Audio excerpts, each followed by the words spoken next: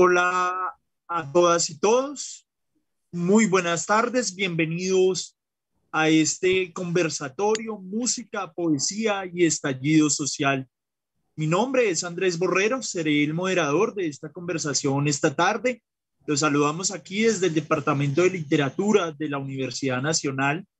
En la tarde de hoy nos encontramos con dos invitados muy especiales y que para mí es un honor tener conmigo, tener la tarde de hoy, estar charlando con ellos. El primero de ellos es Francisco Sumaque y también nos acompaña Camilo Celi. Por su parte, Francisco Sumeque es doctor en Artes y Patrimonio Cultural de la Universidad Simón Bolívar. Él es catedrático de maestrías en escrituras creativas y educación artística de la Universidad Nacional de Colombia. También fue consejero cultural de la Presidencia de la República de Colombia entre los años 1982 y 1986. Fue diplomático en la República de Alemania Federal entre los años de 1986 a 1990. Es compositor, arreglista, productor y director de orquesta. Tiene experiencia en cuatro continentes y 21 países. Ha recibido múltiples premios internacionales es presidente de Fonosema Records y Sumaque Productions. Fue uno de los 100 grandes personajes del siglo XX en Colombia. Es director del programa de investigación El Taller de las Utopías. La obra de Francisco es extensa y variada.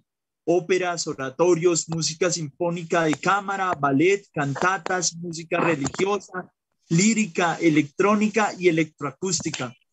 En lo popular, lidera el movimiento vanguardista de la música latinoamericana y también ha sido protagonista de la transformación y proyección de la música colombiana al mundo. Él ha escrito en distintos formatos sinfónicos, también para bandas de rock, salsa, hip hop y sonoridades que involucran la más alta escrito en de autos. Francisco recibió el reconocimiento como doctor honoris causa en artes y patrimonio cultural por parte de la Universidad Simón Bolívar en Colombia en el año 2017. También, pues para todas y todos los que están ahí, y para que referencien un poco más la obra de este gran compositor, de este gran artista, es autor de canciones como Macumbia, Colombia Caribe, Candó, El Cuentero. Francisco, una hoja bastante abultada, una hoja de vida, también una experiencia muy grande. Bienvenido y buenas tardes. Pues Andrés, eh, muchísimas gracias a ti. Eh, pues eh, cuando yo escucho todo eso que dijiste, me asusto, porque el compromiso es enorme. Después que le diga uno todo eso, lo que está significando eso es que tiene uno un compromiso de obra y un compromiso de acción, de realización a nivel no solamente nacional, sino internacional. Sí,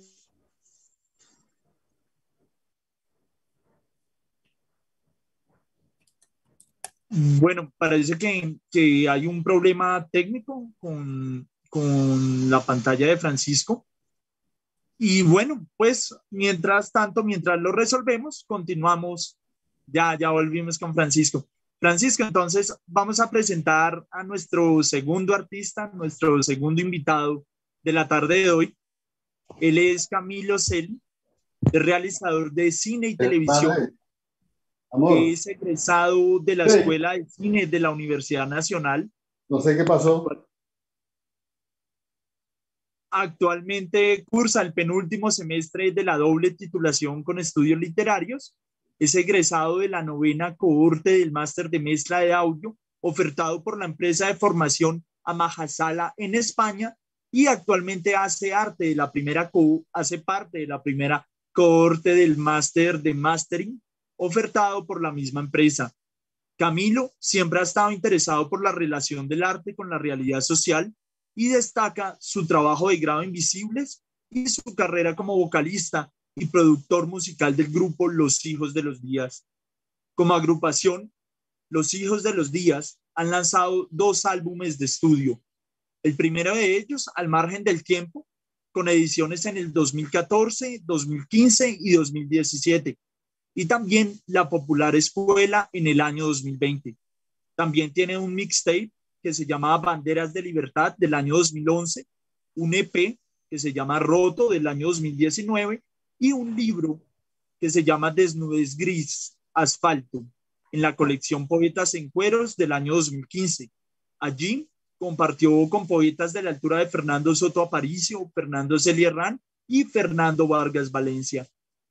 En cuanto a la apuesta estética del grupo y de Camilo, conocido como Sansa, como solista, ha sido la del compromiso político, ético y estético con la realidad social y con la producción dentro de la contracultura, desde la autogestión y la organización local. Camilo es el director del proyecto Surterráneo. Camilo, buena tarde, ¿cómo está?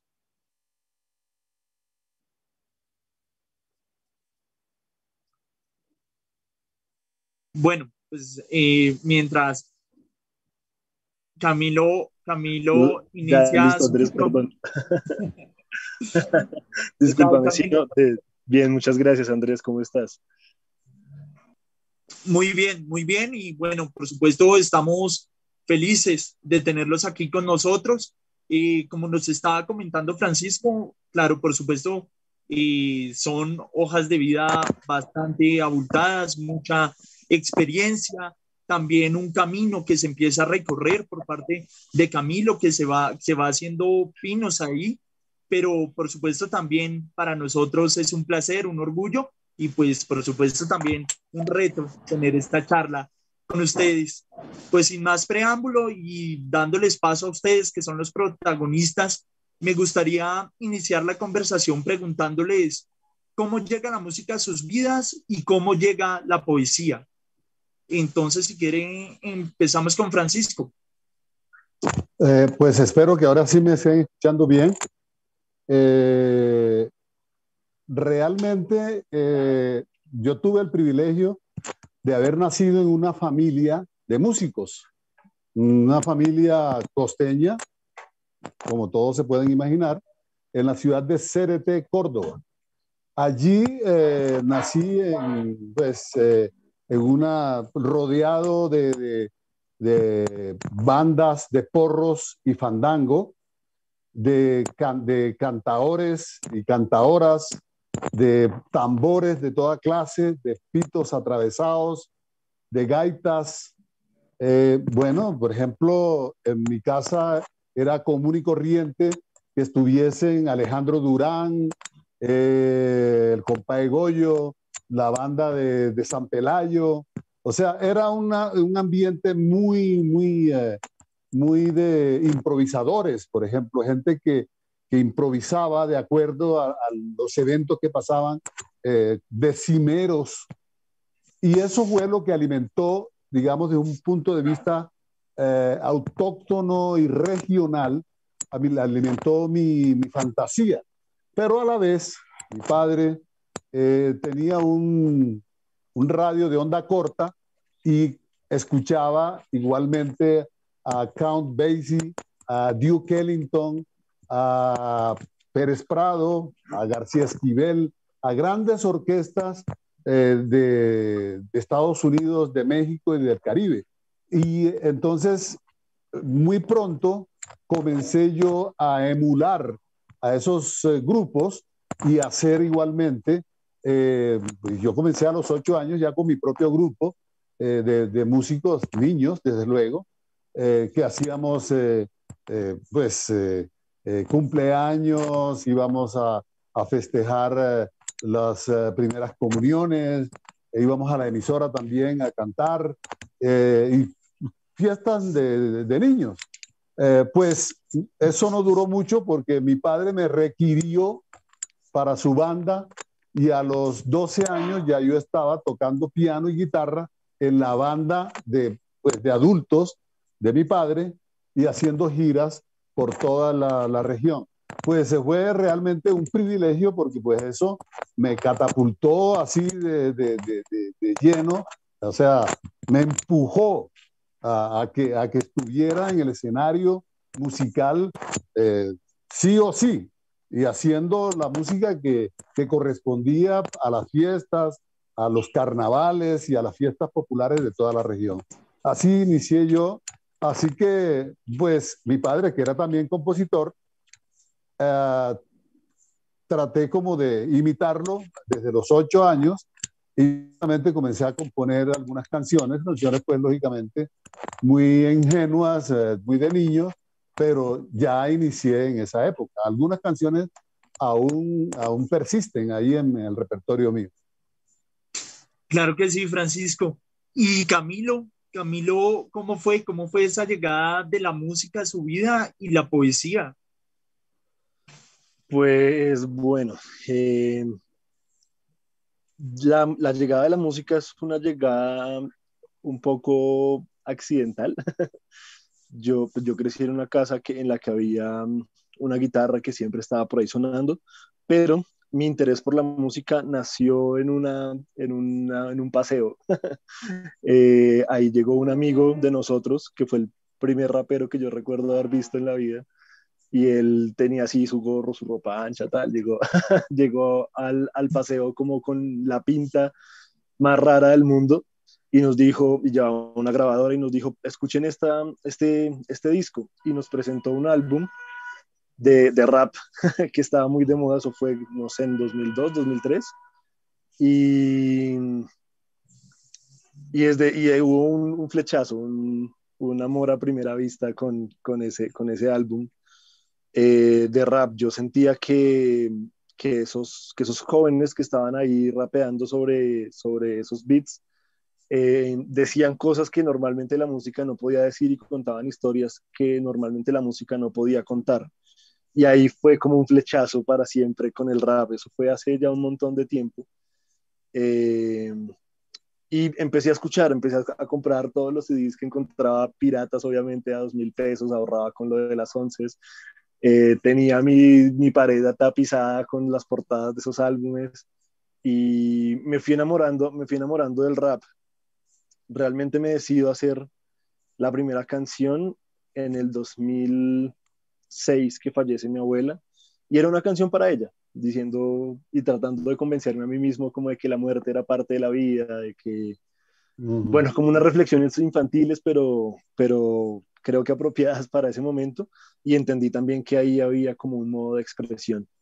Entonces, ya en 2009, con mi hermano, eh, hacemos el grupo Los Hijos de los Días y empezamos a ser parte del movimiento estudiantil. Hacemos nuestras presentaciones en las universidades públicas, hacemos nuestras presentaciones en bares pequeños, empezamos a, a descargar instrumentales de internet, ninguno sabía nada de música, empezamos a hacerlo con las uñas, ¿no? En el estudio de un amigo que también estaba empezando apenas en la producción, entonces las cosas no sonaban bien, era una cosa un poco precaria, pero en la que fuimos muy felices y encontramos un lugar para la expresión no solamente de nuestras ideas y de nuestras emociones, sino también de nuestras posturas como, como parte de una sociedad, ¿no? Como, como parte de un, de un movimiento estudiantil.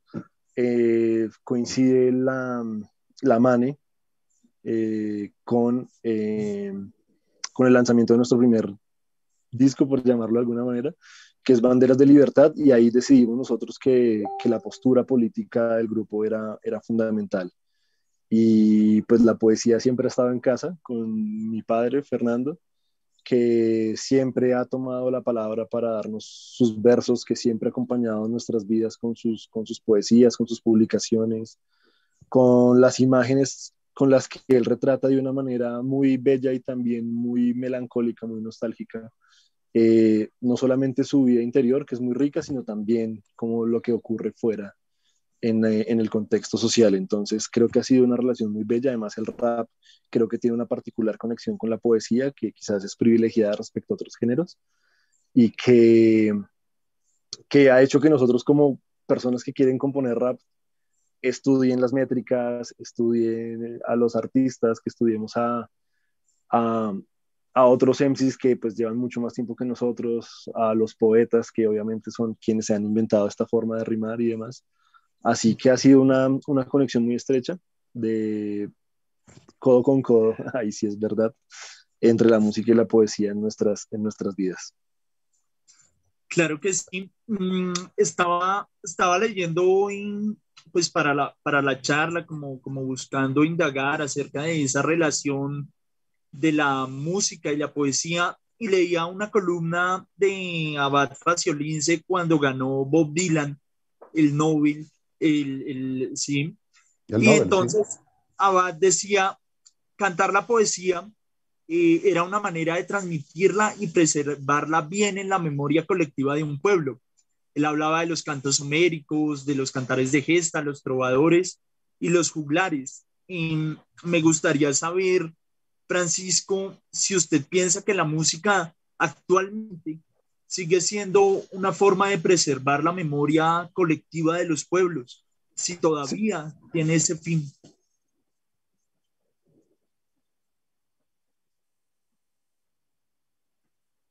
Bueno, pues mientras tanto, si quieren, Camilo, lo escuchamos.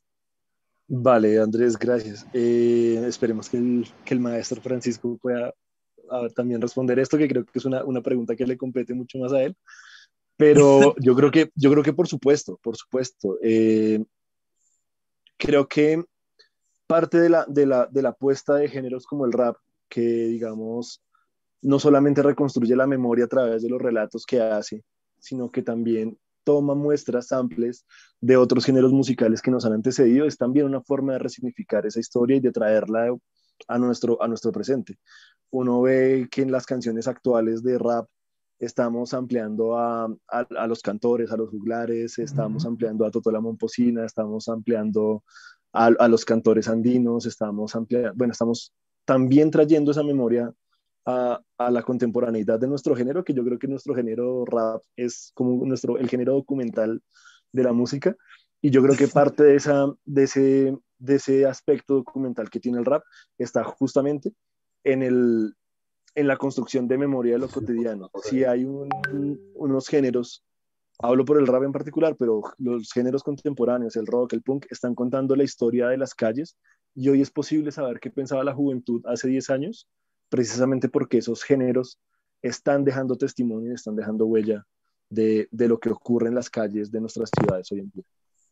Sí, Camilo, justo, justo estaba viendo, creo que una entrevista que, que usted hizo con Subterráneo a Jockey Barry y, y, él mencionaba un poco eso, ¿no? Acerca de un disco que estaba lanzando él, ¿no? Cómo, cómo integraba esos otros ritmos, eh, tal vez cumbia, eh, ¿cierto? Tal parte de ese folclore que usted menciona, que usted menciona en la música y pues que por supuesto de verdad termina siendo una forma de preservar la memoria, esa memoria colectiva de los pueblos y que también fundamental en las ciudades, ¿no? Porque también hay una memoria en la urbe, ¿no? Que tal vez y no solo el punk, no solo el rock, sino también el rap se ha encargado de contarlo. Así es. Sí. Uh, Maestro pues, Francisco. Bueno, es, eh, nosotros tendemos a, pensar normalmente que las cosas que están pasando ahora son únicas y están ocurriendo por primera vez. Digamos, eh, es un, ¿cómo podríamos? Es un fenómeno eh, y un complejo que llaman de orden mesiánico. O sea, que, que nosotros creemos que estamos por primera vez allí. No, este fenómeno de contar la historia y de contar el, momento histórico que se está viviendo, eso ha sido de toda la humanidad.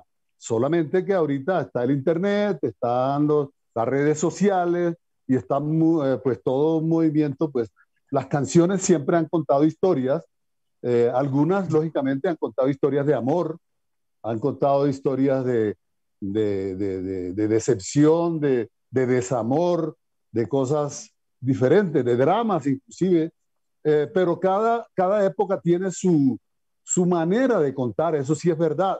Su, su, por ejemplo, eh, la época esa tan bella en, en, que, en, que, había boleros y en que toda esa música eh, era permeada por, por toda la, toda la, el lirismo que, que existía en, ese, en esa época por todos los poetas eh, que, que, que, nos, que inclusive poetas de la lengua española que fueron muy pródigos y maravillosos y que nos enseñaron a los músicos a utilizar la mejor literatura, las mejores rimas, los mejores versos para cantarle al amor, para cantarle al desamor.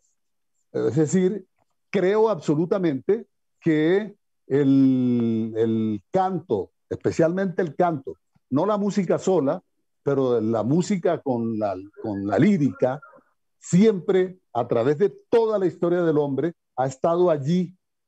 Los griegos, los persas, los chinos, los, los indios, los europeos de todos los órdenes, los africanos, siempre han estado contando su entorno, cantándole al entorno, cantando eh, canciones, eh, haciendo canciones de labor, por ejemplo, cuando están, cuando están haciendo trabajos, van manifestando qué es lo que están haciendo para darse ánimo y para darse fuerza. Los indígenas nuestros en el Amazonas, los indios cunas en, toda la región del Pacífico, los zenúes, los, eh, en la región de Córdoba, ¿no? Entonces, ha sido un, fenómeno que siempre ha existido.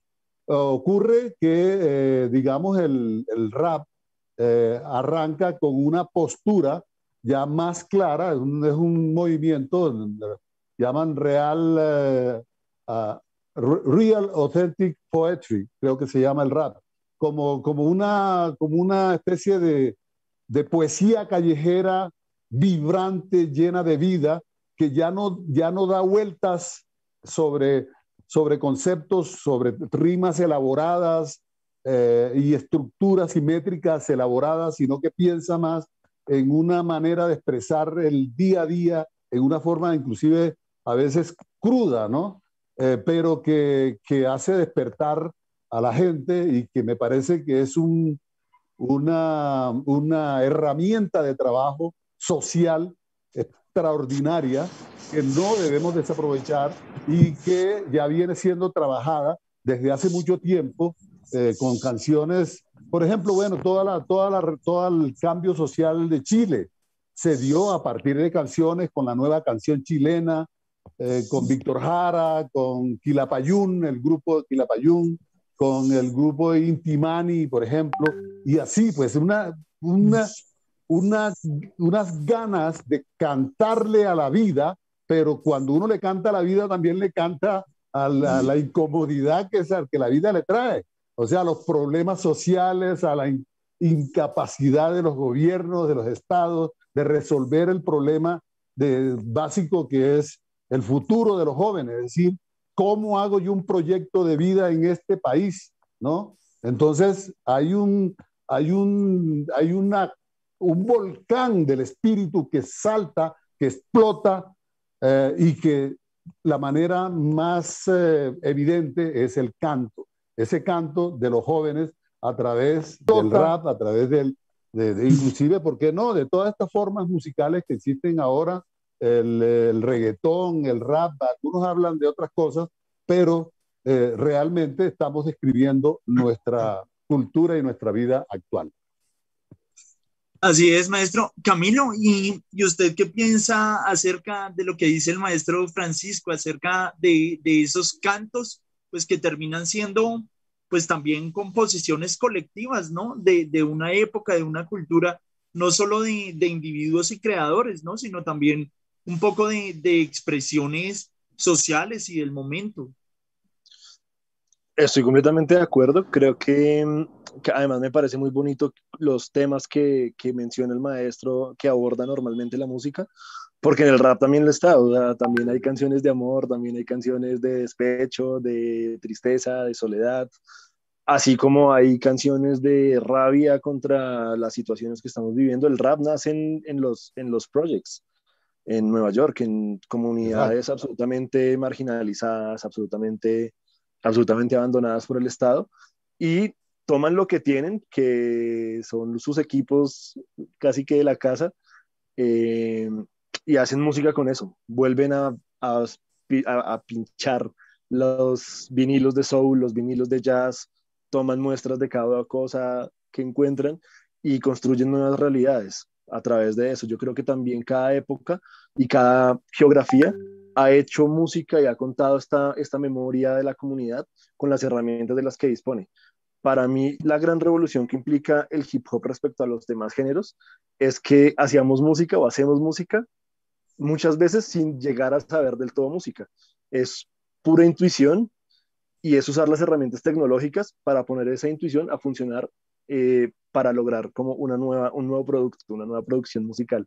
Entonces creo que, creo que ahí podría estar como la revolución que planteó el hip hop a través de la técnica del sample, que podemos rapear sobre la cumbia de aquel o sobre el soul de aquel otro o sobre el jazz que hizo aquel. Entonces me parece, me parece, me parece muy bonito cómo coinciden todos los géneros musicales en hablar en últimas de la condición de, de humanos, ¿no? Que tenemos todos, de, de, cómo amamos, cómo odiamos, cómo sentimos el dolor del otro, cómo sentimos el dolor nuestro. Y creo que, creo que en eso la música es absolutamente universal. Mm. Eh, si, si, somos, si, si Dylan logró el Nobel de Literatura, más allá de la discusión de si la música contiene o no poesía, que yo creo que sí, que, que tiene un aspecto literario indiscutible, es que también eh, estamos haciendo un ejercicio de memoria. Eh, incluso el reggaetón más puerco está, está generando memoria en los, en los jóvenes hoy en día. En 40 años escucharemos a, yo que sé, a Bad Bunny y diremos, oiga, esto sonaba en el 2021 y Bad Bunny se hizo el álbum más escuchado durante la pandemia en el mundo.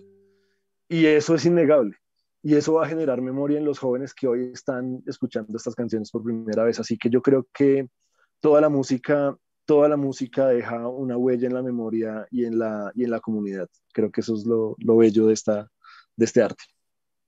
Sí, uh, eh, eh, Andrés, eh, si me permites. Sí, sí, sí, sí, adelante.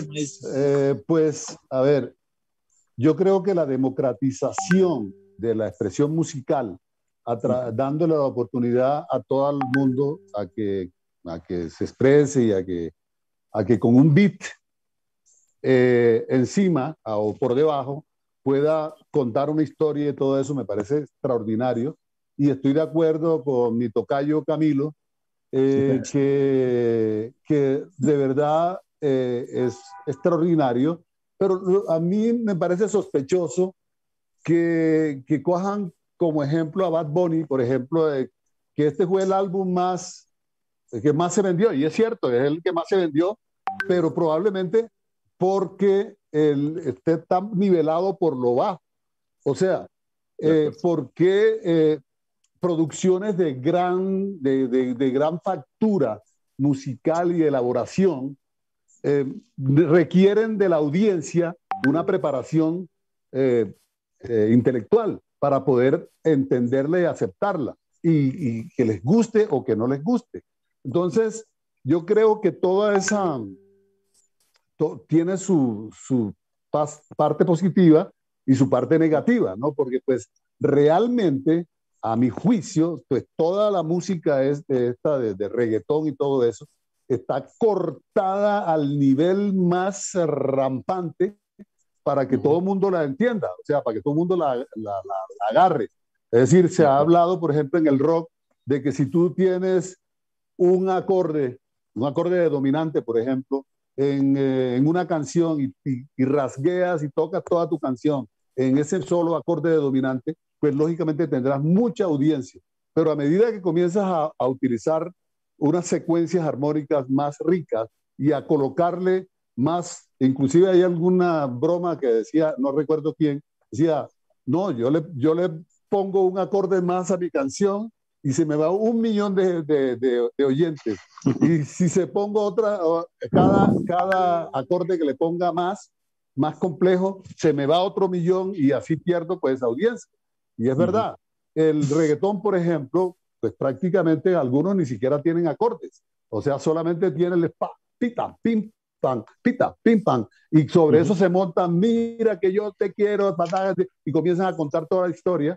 Y listo, pues realmente, digamos que de, para ello no se requiere un, un conocimiento de 5 años o 10 años o 20 años, como es el caso de los grandes músicos, de armonía, contrapunto, composición, orquestación, eh, todos estos elementos, yo realmente, yo invitaría a mis colegas, que los quiero mucho y que los respeto porque hacer un buen reggaetón o hacer un buen rap no lo hace todo el mundo, así tenga las condiciones, eh, digamos, de conocimiento que quiera, es una cuestión distinta, eh, pero sí los invitaría, así como invito a los, a los músicos eruditos a que se introduzcan más con el conocimiento de las músicas populares, los músicos populares también deben acercarse más a la construcción de una melodía bella, a, la, a, cómo se hace una secuencia armónica,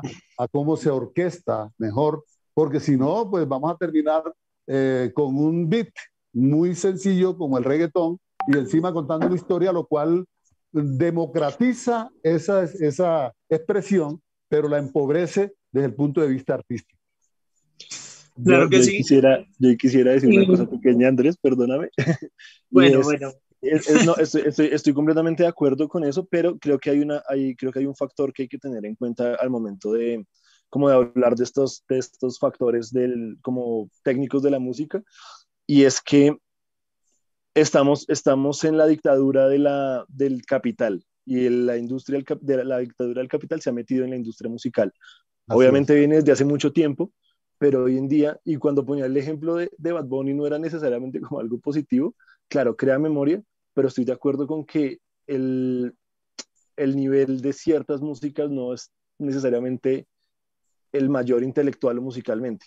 Sin embargo, creo que es una, eh, hay una medida de las cosas que es las vistas, los likes, cuántas visitas tuvo este, cuántas visitas tuvo aquel, y eso no necesariamente, lo masivo no necesariamente hace que sea una, no, no necesariamente hace que sea bueno, no necesariamente hace que sea valioso musical y, técnicamente. Yo comparto, comparto esa postura, pero creo que hay que, hay que situarlo justamente en esa, en esa dictadura del capital y, y, en la dictadura del tránsito en redes, ¿no? Es quién tiene más tráfico en su canal de YouTube, quién tiene más likes, quién tiene más suscriptores. Hoy en día los músicos independientes estamos dándonos una pelea muy fuerte, o sea, realmente es que eh, luchar contra el algoritmo de Instagram, de YouTube, de Facebook, es que ahora todo es de pago. Si yo quiero sonar en YouTube, hace cinco años tenía la posibilidad de, tener, no sé, 30 mil visitas orgánicas en un video hablando sobre rap. Hoy en día tengo 50 si me va muy bien y si no pago, nadie me escucha. Entonces, o sea que, existe la payola, entonces eh, igual por supuesto. Eh, la payola que existía en la radio, ahora ya no existe solamente en la radio, sino que existe en, el internet. O sea que, Exacto. no, lo, que, lo, que, yo quiero decir, disculpa, me voy a hacer corto eh, diciendo esta frase, es que para mí, digamos, lo, lo, que es interesante en el trabajo, el trabajo creativo debe ser primero de, contar la realidad de, la vida, etcétera, etcétera, los problemas, todo eso es cierto, pero también de empujar al ser humano a niveles los más, eh, altos posibles de, la elaboración y del, del refinamiento. Y, me parece que eso, eso, eso no, lo está no se está logrando si se exalta simplemente que la gente ponga like porque le gustó, que mueve la cadera, mira que no sé qué, y, sale la muchacha en bikini. Bueno, pues lo que pasa es que, eh, que, a mí no me lucen los bikinis, pero, pero yo me pondría un bikini también igualmente para obtener más likes o lo que sea. Pero la verdad es que a mí me parece que los Juegos Olímpicos me interesan. ¿Por qué? Porque exigen más rápido, más alto, más eh, más veloz, eh, todo el tiempo es, es más, más, más, porque eso empuja al ser humano. Pero esto de, de, del entretenimiento solo, eh, de, la, de, las, de la música, que inclusive la gente piensa que la música es solamente la música popular. O sea, el rap, el, el reggaetón, es la música que es la única música que existe y es la música. No, existen millones de expresiones musicales bellísimas y eso es lo que, ah, lo que duele un poco, que, el, como decía mi tocayo Camilo, eh, en este momento esté rigiendo todo eso, el capitalismo, y sean los likes los que determinan eso y sea la gente que no tiene una cultura musical las que determinan quién es el más vendedor y quién es el más famoso, ¿no? Y no, eh, lo mismo pasa en literatura. Ahí los poetas más exquisitos son los menos populares. El poeta más, la gente más, los escritores más elaborados son los menos populares, ¿no? Yo creo, ¿no? Entonces, esa, esa, es la parte que me parece triste. Sí, maestro, eh, al estar mediados por la sociedad del espectáculo, parece que está ocurriendo eso.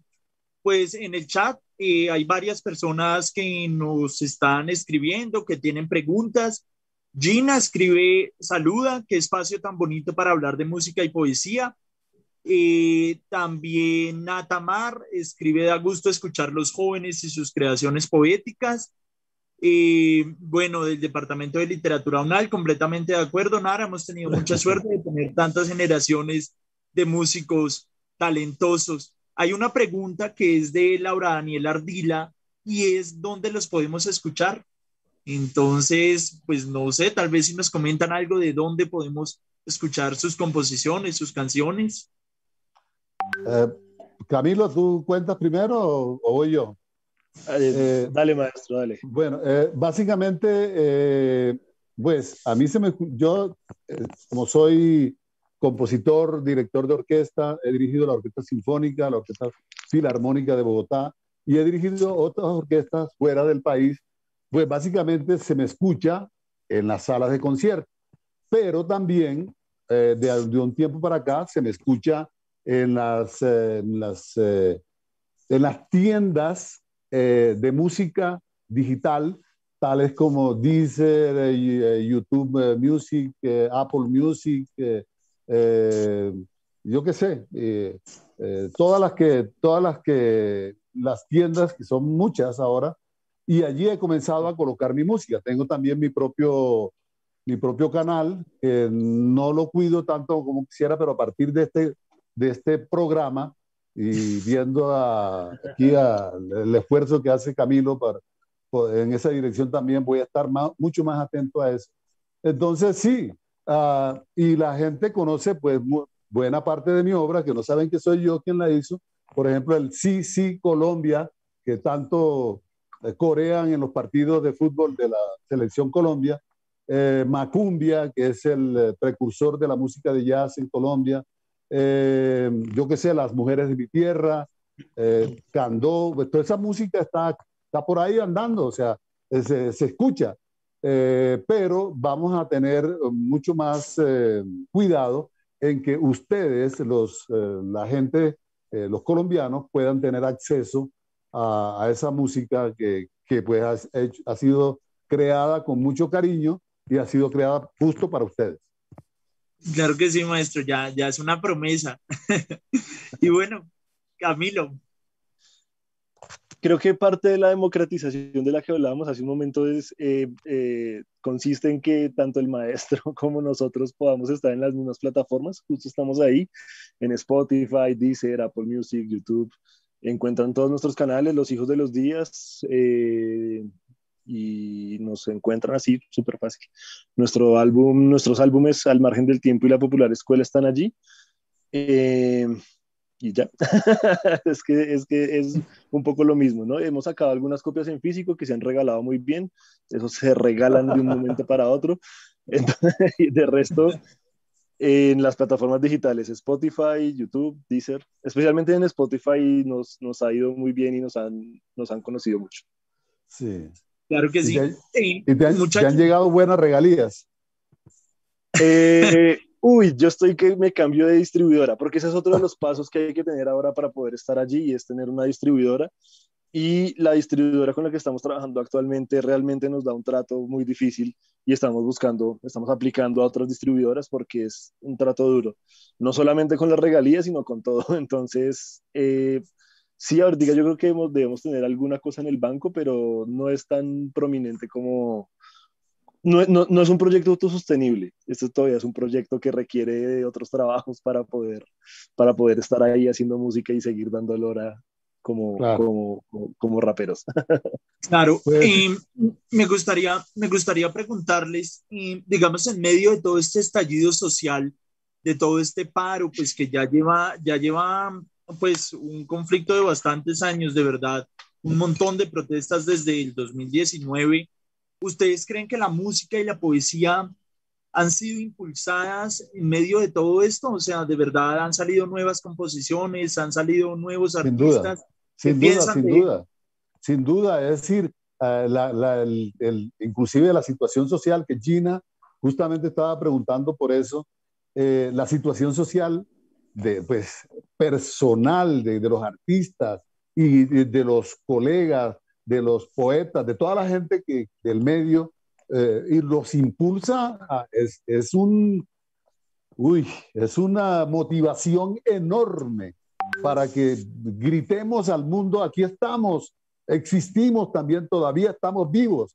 Y es nuestra obligación como creadores, como músicos, como poetas, eh, de estar juntos, los poetas y los músicos. Inclusive yo eh, animaba mucho en, en, la cátedra que hice de, de escrituras creativas, que, que, que, era básicamente, que lo llamé una fantástica para todos, animaba a los jóvenes eh, poetas a que se unieran a los, a los músicos también.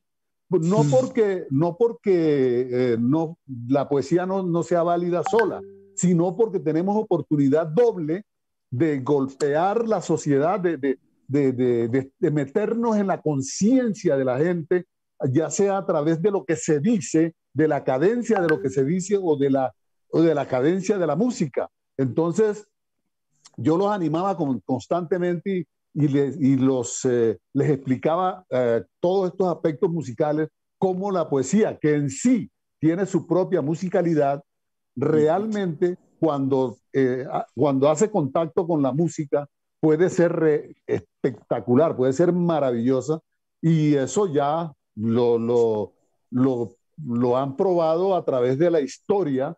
El ser humano sabe cuán importante es eso. Los estados se han aprovechado de eso porque los himnos son una manera de concientizar a, la gente, a decir vamos a la guerra, que no sé qué, a salvar, eh, no sé qué, pues todo lo que quieran decir y ahí le están y lo hacen cantar a uno desde niño el himno, el himno a la bandera y entonces uno está concientizado con eso pues ya, ya no piensa sino en, está adoctrinado a través de una canción que la llaman himno. Entonces, nosotros podemos igualmente cantarle a, a, la condición social, a las cosas que queremos, a todo este mundo que no, no estamos conformes y, y, decirlo, gritarlo o decirlo bellamente a través de la poesía y de la música. Al punto que el cantante y el artista se vuelve, se vuelve un enemigo, ¿no? Como del sistema, digamos el caso de Junior Jane. Yo no sé, yo no sé si, si el maestro lo referencia, tal vez Camilo sí un poco más, y pues es el, el activista, el líder social y cantante de Buenaventura que asesinaron en Cali. Claro que sí, claro que sí. A Harold Angulo eh, Vence Claro que sí, o sea, él, él, él, él, trabajó, él trabajó, porque yo he estado muy, muy ligado a muchos aspectos de la música, al rock, al rap en, esta, en Nueva York, porque yo vivo en Nueva York igualmente eh, por periodos, vengo a Colombia, vuelvo a Nueva York, en fin. Y eh, eh, pues Harold, que, que, es Junior Jane, pues fue probablemente de los primeros que trabajó lo que se llama la, eh, ¿cómo se llama eso? La salsa choc, la salsa choc, eh, que, que, fue un, un intento, no, no, funcionó muchísimo, pues por ahí anda todavía, pero fue un intento de, de, de, de renovar la salsa con elementos, eh, pues, ya urbanos, y creo que eso hay que seguir haciéndolo, porque pues eh, en la medida en que nosotros mantengamos vivos todos esos elementos que mueven a la gente, tendremos capacidad de, influenciar y de pasar nuestro mensaje positivo al público, a la gente en general, a la sociedad. Y Harold venía haciendo eso, además de que tenía una simpatía natural, él ni había estudiado mucho ni nada, pero tenía una simpatía natural, eh, su sonrisa, su actuar, su, su, manera franca de decir las cosas, eh, pues eh, me parece que de verdad es espantoso eso que ha, que ha, ocurrido con él, que lo hayan asesinado de la manera que fue. No, no, no, no quiero decir pues lo que pienso realmente de eso, pero pues, Dios mío, o sea, ¿a dónde vamos a llegar? ¿A dónde vamos a llegar? Simplemente porque estaba protestando, porque estaba diciendo algunas verdades, no me parece que ya eso es el colmo de que, de que, de que un artista no pueda cantar eh, su situación social porque enseguida se lo bajen. No, me parece horrible eso, de verdad. Sí, eh, Camilo, y, y, usted con, su, con el grupo de los hijos de los días y ustedes siempre han buscado estar de alguna forma ahí en el choque, ¿no? En la confrontación desde el arte, desde la música. Eh, ustedes han sentido miedo. Eh, ahorita ustedes sacaron un último tema que es arder, ¿cierto? Sí. Eh, ¿Han sentido miedo? ¿Se han sentido hostigados? ¿Han sentido que, que lo que ustedes hacen les podría costar la vida de alguna forma? en algún momento para nosotros hacer parte de la MANE nos costó pues cosas difíciles, sin duda. Eh, pero creo que de, de, todas formas los artistas tenemos un, bueno, pues no en todos los casos desafortunadamente, pero contamos con un cierto blindaje que al hacernos visibles eh, tenemos como, una, como, un cierto, como un, como, un, cierto cerco alrededor de nosotros que nos permite decir ciertas cosas, como ciertas licencias artísticas. Sin embargo, gobiernos como este se han, se han dado a la, a la pelea de acallar todas las voces que se opongan a, a ellos. No es algo nuevo, no es, desafortunadamente, no, eh, Juno Jane no mm. es el primer, el primer cantante que, que muere por, por la persecución de, de este gobierno han sido cientos de líderes sociales asesinados, han sido cientos de artistas amenazados en los procesos, en los procesos barriales, no solamente en la música. Eh, se intentó hace unos años acá, en acá donde yo estoy sentado hacer una, un festival popular del libro que tratara de hacerle un contrapeso a la, a la feria del libro y también hubo como una, un ataque así frontal contra, contra ese proceso. Entonces, desafortunadamente, las dictaduras no pueden con el arte. Los artistas seguimos dándonos la pelea por decir lo que pasa, por decir lo que sentimos y por decirlo por encima de la, incluso de la, de, la, del peligro de muerte. Para el caso icónico es Víctor Jara, ¿no? Que claro, la manera en que muere él es absolutamente es escalofriante que, que, que por cantar alguien reciba ese trato. Mm. Entonces, eh, los gobiernos necesitan de, artistas que les sean funcionales, de artistas que hablen de, y acá sí me voy un poco en contra de lo que decía antes, eh, porque se genera memoria a costa del mensaje. Entonces, claro, mucha gente va a recordar a Bad Bunny en 20 años, pero lo que va a recordar es letras bastante obscenas, eh, colas moviéndose en los videos, chicas en bikini. Mm. los, Yo aspiro que dentro de algunos años no, Bad Bunny no, no, no aparezca. Más bien que aparezca Camilo Celis y su banda. ¿no? Me parece que eso sí sería mucho más interesante. Sí, sí. sí. Ojalá, maestro, ojalá. En todo, en todo caso, en todo caso, claro, siempre, siempre que uno lanza una canción, nosotros hemos hecho seis canciones urgentes que han correspondido como con momentos de la política nacional y siempre que hay una canción urgente, la gente se identifica mucho con ellas y, y, claro que hay un temor, ¿no? Que llegue a oídos de alguien que, que, no les guste, pero no por ello, no por ello, creo que el miedo no puede ser un freno, el miedo no puede ser un... No, no, no, se puede vivir con miedo. no se puede vivir con miedo, de ninguna manera. Así es, maestro. Así es, y de verdad, gracias, gracias por esa visión y por supuesto por ese aporte y también pues por decirnos eso, ¿no? De verdad, no se puede vivir con miedo, creo que es un mensaje que, que toda esta movilización ha dejado, ¿no? Que también desde la periferia, desde los barrios, como que ya, ya estamos muy agotados y creo que es una gran consigna y pues que también artistas como ustedes no lo digan, pues es muy valioso, ¿no? Tomar esa postura también y pues esa voz. Eh, me gustaría preguntarles sobre la identidad. Me gustaría empezar con el maestro Francisco y es, usted pensó eh, al estar realizando sus canciones, sus composiciones, que su música podría ser una forma de identidad en Colombia, eh, de sentirnos iguales de alguna forma. ¿Usted creyó que tendría ese alcance? Toda, toda la vida, es decir, lo, yo he comprendí desde muy niño, desde muy temprano, que la música, que las canciones sobre todo, las que no eran instrumentales, las que tenían un mensaje, debían tener un aspecto positivo para la sociedad y para las personas que la escucharan. O sea, no puede ser, o sea, yo no, yo no recuerdo de tener canciones que, que, que sean negativas o que hablen de aspectos negativos, inclusive, inclusive esas canciones de despecho, yo no, no, no escribo canciones de despecho, porque yo creo que, que hasta allí hay un aprendizaje y ahí persiste el amor de alguna manera. Eh, eh, cada vez eh, que, que, empiezo una canción, estoy exaltando algún valor humano, aunque sea discretamente, pero ahí se está exaltando.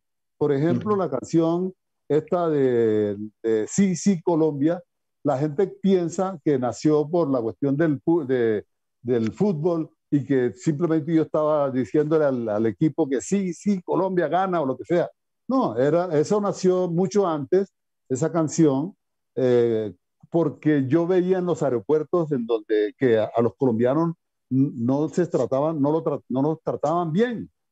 a mí, por, digamos, por ser artista, pues tuve suerte y no, no me ocurrió nada a mí, pero sí veía mucho maltrato en los aeropuertos internacionales con el, con el pasaporte verde. Entonces, a mí se me ocurrió que, que básicamente éramos nosotros mismos los que teníamos que tener el orgullo de ser colombiano y de presentar el, el pasaporte verde y decir sí, sí Colombia, porque pues los buenos somos más y que este es un país eh, lleno de gente buena, de gente digna, de gente muy capaz, muy inteligente. Y entonces, ¿por qué tenemos que agachar la cabeza eh, en los aeropuertos internacionales por una nacionalidad? O sea, porque ocurra lo que sea eh, en, en, esa nación, entonces uno tiene que simplemente agachar la cabeza y decir, soy colombiano, entonces venga, regístreme, hágame todo lo que quiera usted, porque yo soy colombiano. No, había que cambiar la mentalidad y por eso dice eso de sí, sí, Colombia, ¿no? Posteriormente ese, ese concepto quedó y se convirtió en una canción para el Festival de Música del Caribe, en donde, en donde yo habla, le daba la bienvenida a, a la gente que venía del Caribe, las orquestas, los grupos, etcétera, etcétera pero fundamentalmente es una canción positiva. Todas las mujeres de mi tierra, igualmente, todas eh, eh, comparándola con el país, con la exuberancia y con la fuerza, la inteligencia eh, de la mujer colombiana, etcétera, tratando de ver cómo, cómo, cómo nos presentamos de otra manera, cómo, cómo nos queremos a nosotros mismos, cómo cambia nuestra autoestima, porque nosotros somos grandes y este país es grande y podemos eh, decirle, gritarle al mundo que Colombia, y de hecho se está, se está logrando, de que Colombia es una gran nación llena de mucho talento, llena de, gran, de grandes creadores y que pues vamos a seguir adelante. En esto, los hermanos poetas, yo quisiera tenerlos muy cerca porque ellos tienen eh, mucho que decir, mucho que hacer y me parece que juntos podemos hacernos más visibles, los poetas y los músicos. Así es, además que hay muchas personas que tienen esa pregunta, ¿no? Sobre qué, qué significa sí, sí, Colombia. Y gracias, gracias maestro por, por darnos esa aclaración. Incluso alguien me, me preguntaba como, pregúntele, pregúntele al maestro Francisco si le gusta el fútbol. O sea, como que, se relaciona mucho eso. Bueno, me gusta verlo. Yo, yo, yo diría más o menos lo mismo que Harold, Harold Angulo, eh, Junior J que pues el, el físico no me dio mucho, eh, porque cuando me metí en una cancha a, hacer, a tratar de hacer fútbol, eh, lo que ocurrió fue que me dieron un balonazo en, en, en, el oído derecho y entonces ahí yo, yo, yo era músico ya, entonces o el fútbol o la música. Y yo dije, no, definitivamente la música y me salí de la cancha y nunca más. Pero sí, lógicamente, yo estoy atento y, miro el, fútbol eh, colombiano, eh, miro el fútbol europeo, estoy atento a, a la gesta que, de, nuestros eh, héroes futbolistas de la, de la selección Colombia y estoy muy orgulloso de ellos, lógicamente, como todos los colombianos. Y de vez en cuando me pinto la cara y y grito Colombia también. Claro que sí, gracias. Y, y Camilo, usted en sus composiciones y, en su música busca brindar una forma de identidad. Yo creo, yo creo que, yo creo que es, es, es, una, es una pregunta difícil y creo que es un proceso que se muerde la cola, ¿no? Es una serpiente que se muerde la cola es un proceso que nace de una identidad, ¿no? El rap como un movimiento musical, el hip hop como un movimiento cultural, contracultural que se ha extendido por el planeta entero y que tiene raíces en todos, en todos los países, eh, que ha tomado las músicas de todos los países para resignificarlas. Y por otro lado es esa identidad tomada a nuestro contexto, a nuestra situación política particular, y allí dar una nueva producción para que la gente que la escuche también se identifique. Entonces creo que es un proceso circular que se está retroalimentando de forma permanente, pero yo sí creo que hay una identificación con lo que se sale de la norma, ¿no? Como que hay una hegemonía que nos ha planteado como el arte debe ser esto, el arte debe ser bello, el arte debe, iluminarnos. Y yo creo que, ah, bueno, y el arte debe estar en los museos, ¿no? Y en las, y en las salas de concierto. Y yo creo que una cosa que ha logrado el rap es hacer lo contrario, sacar a, las, a la música de la sala del concierto y llevarla al Transmilenio, llevarla al bus, llevarla al parque, hablar de, de nosotros los pobres, de nosotros los gays, de nosotros los trans, de nosotros las mujeres eh, empoderadas, de nosotros eh, las comunidades negras. Entonces creo que ha sido también una manera de en que la gente, a través de la democratización tecnológica de la que hablábamos hace un rato, que la gente deje de ver los discursos de los otros y tomárselos como, como propios y que en lugar de eso haga su propio discurso, hable de lo que le compete, hable de su, de su barrio, de su cuadra, usando sus refranes, usando sus palabras, decir parcero y no amigo, decir chimba y no bien. Sí, es como también es eh, eh, esa memoria que se construye es también en el dialecto que nosotros usamos para expresar. Tocayo, perdóname, pero, pero no, eso no es solamente de los, de los raperos ni, de ese movimiento, ¿verdad?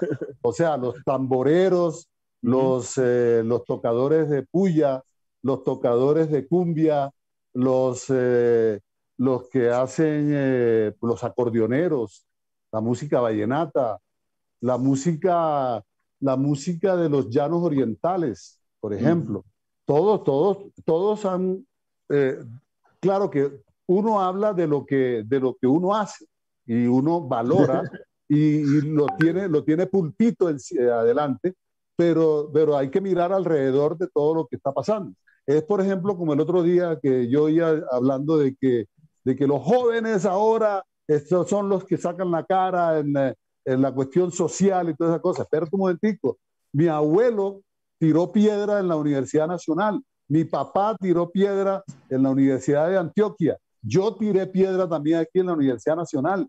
Y pues, eh, pues no nos ha funcionado y siguen tirando piedra y seguimos protestando y recorriendo las calles y todas las cosas. O sea, no es un fenómeno de los jóvenes de ahora, es lo que quiero decir. O sea, que no hay que descalificar a los otros. Es decir, es lo que yo te decía al principio, es decir, el, complejo ese mesiánico, es que el mundo nace cuando yo nací, el mundo es cuando yo arranqué. No, eh, estar, el mundo viene con todas sus virtudes, desde luego, menos mal, y todos sus vicios desde, desde tiempos uh, antiquísimos, desde que el hombre es hombre. En toda la maldad, toda la bondad, toda la alegría, toda la tristeza, todo eso existe. Entonces, eh, sí, sí, hay, un, hay, hay que, que en este momento darle la importancia que tiene este movimiento y eh, tan importante es que yo estoy haciendo igualmente eh, rap y música electrónica. ¿Por qué? Porque creo que es una manera de llegar a la gente, llegar al, a los jóvenes, llegar al, a las universidades, llegar a la calle, ¿no? Es una manera, pero tampoco dejo de lado a los tamboreros, a la música de acordeón, a la música del Pacífico, ¿no? A la, al cununo y a la marimba, es otra manera, ¿no? Hay maneras de llegar, son lenguajes que, que, que tienen una gran capacidad de influencia y que debemos honrar, amar, conocer y amar. Claro que sí. Hay una pregunta que está en el chat eh, de YouTube y es Camila Nao. Y ella pregunta, ¿qué piensan de las arengas musical y poéticamente, además de como manifestación social? De todas esas, esas arengas que están en las movilizaciones, ¿qué piensan? Camilo. Gracias, maestro. Pues bueno, para mí, para mí, para mí las arengas tienen, es, ah, tiene harta tela por cortar Creo que las arengas que nosotros hemos cantado durante muchos años tienen muchas cosas que reevaluarse hoy en día. Creo que las arengas que, no sé, voy a decir una que se me viene muy rápido a la cabeza porque la hemos discutido mucho en estos días y es la de el que no salte surivista maricón. Y yo creo que hay que empezar a cambiar ese tipo de cosas. Creo que el espacio de la resistencia no puede ser un espacio para la violencia entre los mismos grupos que hacemos parte de la, de la resistencia. Eh, entonces creo que las arengas musicalmente algunas son un poco pobres, creo yo, porque tratan simplemente de recoger la, como el sonsonete de alguna cosa que ya se conoce y, cambiarle la letra para que se ajuste al momento político. Eh, creo que las arengas que vale la pena pensarse son aquellas que han sido compuestas como al calor de la fogata, al calor de la olla comunitaria, al calor de, como que son los, las comunidades mismas las que tratan de, de crear esas, esas arengas, esas, esos gritos de resistencia, y que al ser ellos y ellas quienes crean esas arengas también se sienten recogidos en aquello que, que lo representa. Entonces, estas arengas, estas arengas que, que incitan a cierto tipo de violencias contra nosotros mismos, creo que hay que reevaluarlas y hay que, hay que repensarlas y creo que musicalmente cuando los parches de las facultades de arte, los músicos, se han reunido alrededor de esa composición, han salido cosas maravillosas y creativas. Creo que, creo que cuando los músicos hacen parte de la creación de esas arengas, se logra mucho más que cuando, con todo el cariño y todo el respeto, como que solamente los sociólogos o los antropólogos o los de ciencias políticas hacen las arengas, ¿no? Entonces creo que las arengas nacidas en la calle, en la comunidad, tienen mucho por rescatar y creo que también hay que empezar a pensarnos arengas que realmente, como el humor, se burlen del poder y no de nosotros mismos. Creo que no nos podemos dar ese tiro en el pie cantando cosas que, que están mandadas a recoger. Claro que sí. Y, el maestro Francisco. Pues eh, yo, pues, yo invito a, a, a, los creadores, a los poetas, a que sean más activos en esa dirección. Yo realmente yo no, no le pido a una arenga una, una, una postura o una factura eh, de orden eh, exquisito y elaborado, porque dejaría de su, su, condición natural de ser arenga, o sea, de ser absolutamente popular, de dirigirse a todo el mundo, hasta, hasta la persona más, más iletrada eh, que le llegue. Y eso es el, ese, las arengas no tienen que ser inteligentes, tienen que ser efectivas. Tienen que ser efectivas. Y tienen que ser efectivas desde el punto de vista musical y desde el punto de vista, lógicamente, del texto que se, que se esgrime en ese momento. Pero, pero sí, chévere si, si hay más, eh, como decía Camilo, más participación de, artistas, de creadores, de músicos y, de, y de poetas, porque hay es decir, el poeta no tiene que ser críptico necesariamente, o sea, no tiene que utilizar un lenguaje que nadie entienda, sino puede utilizar un lenguaje muy plano, pero muy bello, muy, muy inteligente, muy interesante. Y eso me parece que sería maravilloso, ¿no? Que los poetas participen en la construcción de arena. Claro que sí. Y bueno, pues para finalizar, me gustaría preguntarles cómo seleccionan las palabras adecuadas para sus textos y si tienen algún mecanismo de creación particular. Si quieren, empezamos por Camilo. Uy, quería pensarlo un poquito más, pero está bien. Eh, yo, yo en, en, el proceso creativo que nosotros llevamos siempre ponemos primero un tema o una emoción. ¿Qué queremos decir? Creo que eso nos permite tener un horizonte sobre aquello que vamos a escribir. Y no es lo mismo decir la palabra mierda, por decir algo, en una canción llena de rabia y que la instrumental la hemos construido como en esa dirección y las percusiones están en esa, en esa, en esa misma onda de como de ser muy activas, muy, muy fuertes, en la mezcla, muy presentes y demás, eh, que decir mierda en una, en una canción de amor, ¿no? Creo que también son contextos distintos. Entonces creo que la emoción o la temática nos dan como un primer horizonte. Lo segundo, pues ya creo que es como una cosa un poco más del, de la composición respecto al instrumental que tengamos. Y es que nosotros, pues, digamos, yo también soy productor, entonces como que tengo un montón de carpetas llenas de instrumentales que he hecho y decimos, bueno, esta, este instrumental nos puede servir para esta emoción o para esta temática. Y con base en la instrumental empezamos a construir y a componer. La velocidad de la instrumental es sumamente eh, necesaria eh, como es necesario tenerla en cuenta al momento de escribir porque con base en la, en la velocidad de la, del instrumental también cambia el tipo de métrica que utilizamos. Eh, no es lo mismo, pues no, es lo mismo cantar a 90 BPM que cantar a 150. Entonces, los BPM son los bits por minuto para quien no lo, pues como para quien no tenga el término como claro. Eh, entonces, como que con base en eso empezamos a escribir. Yo creo que el proceso de, de escritura y reescritura en nuestro proceso creativo es fundamental. Tenemos un primer boceto que vamos puliendo, vamos cambiando. Eh, podemos demorarnos semanas en una, en una letra y finalmente decimos como listo, llegamos acá, llegamos al estudio y también en el estudio pensamos cómo vamos a grabar eso. No es lo mismo grabar una sola voz de un rap como súper fuerte que cantar 10 voces de un rap mucho más tranquilo, mucho más armónico, mucho más melódico.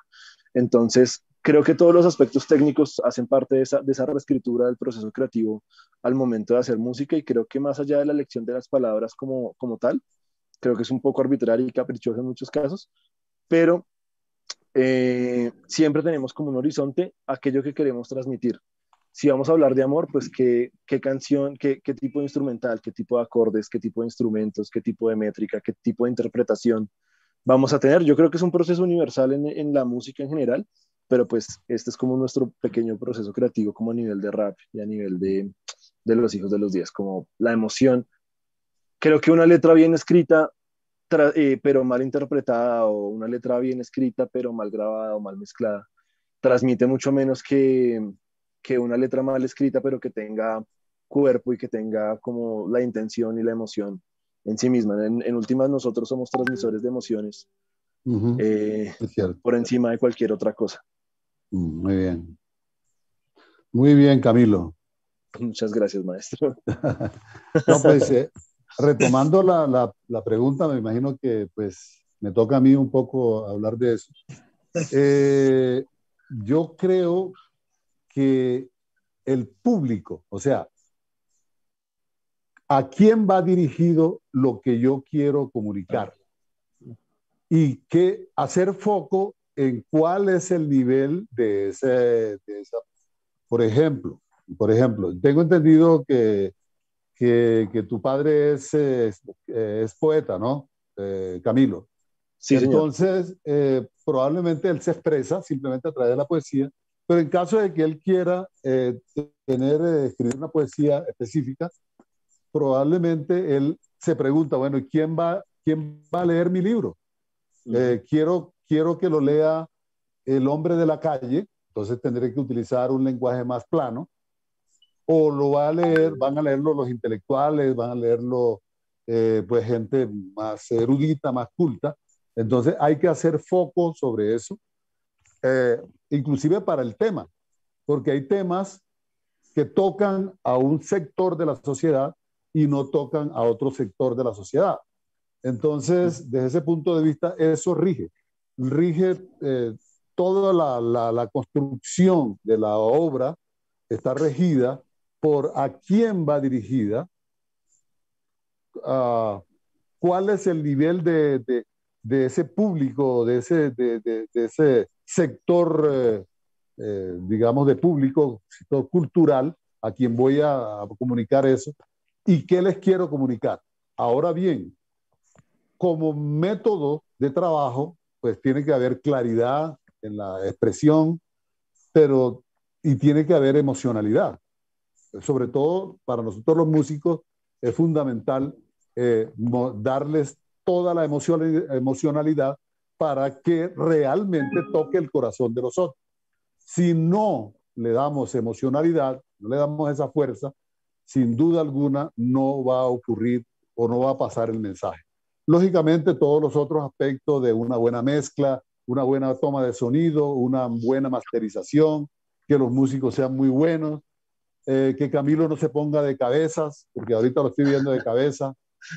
Eh, este, eh, yo creo que esos son, digamos, estrategias y técnicas de trabajo, pero fundamentalmente yo creo a quién va dirigido y qué es lo que yo quiero comunicar.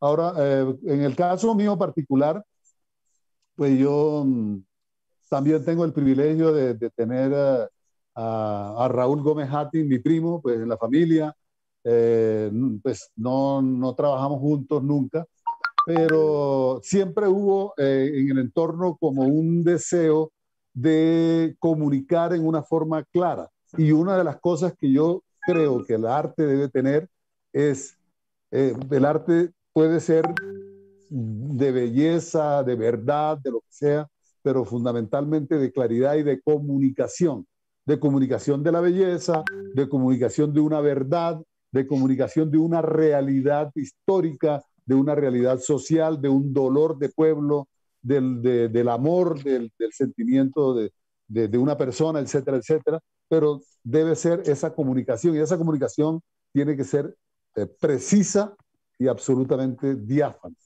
clara. Ese es lo que yo creo que debe ser.